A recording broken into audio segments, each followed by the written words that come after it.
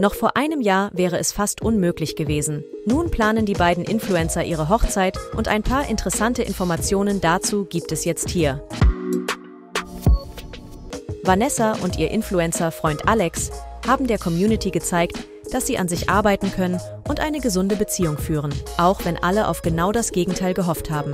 Vor allem während der Sendung Sommerhaus der Stars haben viele Fans die beiden kritisiert. Doch damit ist Schluss, denn die beiden konnten dank der Sendung besser zueinander finden und planen sogar eine Hochzeit. Vanessa gibt nun ein paar Hinweise, wann wir mit so einem Event zu rechnen haben. Es wird wahrscheinlich nächstes Jahr im Sommer stattfinden.